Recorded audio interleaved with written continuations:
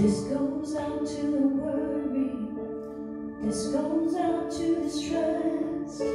Sorting out a million thoughts running through your head.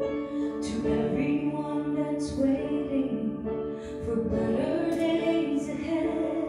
I'm tired and frustrated, reading words unsaid.